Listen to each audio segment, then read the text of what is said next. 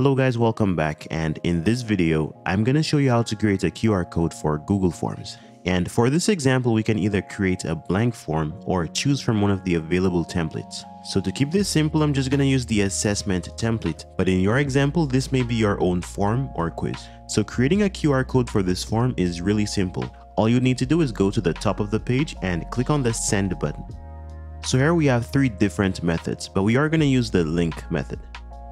You can either copy this link as it is or you can choose to shorten it by checking this box. And once you're done, you can go ahead and click on the copy button. So now I'll close this and now I'll open a new tab and type in Beaconstac. I'll leave a link to this website in the description. From this page, hover over product and click on QR code generator. And now we can paste the form link in this field. Okay, and you also have the option to customize your QR code. So you can use any of these options to make changes to different parts of the QR code. We can just use a template. You can also turn on the options at the bottom if you need them and click on download once you're done. So now you'll be able to access the QR code from your computer and from there you'll be able to share it with whoever you need to. Okay, so we can also create a QR code with an add-on. So I'll click on this options icon at the top and from there go to add-ons now in the search box, we can begin typing QR. Okay, let's get the QR code generator. And from there, we can click on the first option. Let's click install, continue. Select your Google account. And now we can scroll and click allow. And finally, we can click on done. Okay, so now we can close this out. And let's click on this puzzle icon and from there we can click QR code generator. Here we have a number of different options, but we need the first one, generate QR code.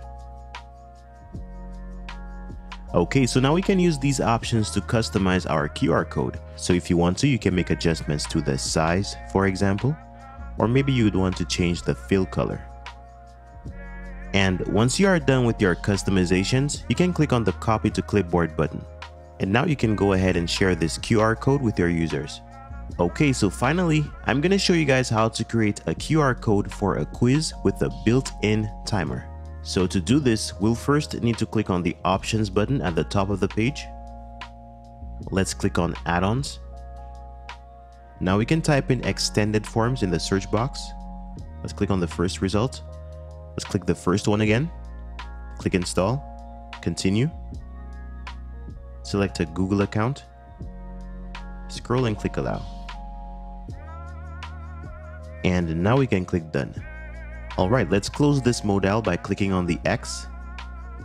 And now we can click on the puzzle icon, choose the second option, click configure. And now we can see the extended forms pop up, so let's turn it on.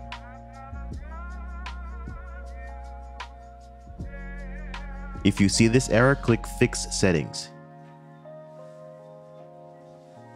Okay, so now we can focus on the options. So the first option lets you select your sharing method from this drop-down menu. And time limit lets you configure the timer. You can also restrict quiz attempts.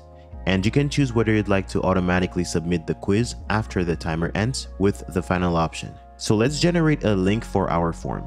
I'll use this drop-down menu to select Link Anonymous, and I'll click on this sharing icon on the right to copy the link. So now we can go back to Beaconstac and paste it in the Content tab. Okay, so we have now generated a different QR code for our timed quiz. You can now download and share your QR code. You can also click on this tab to view your form's responses in the Extended Forms dashboard.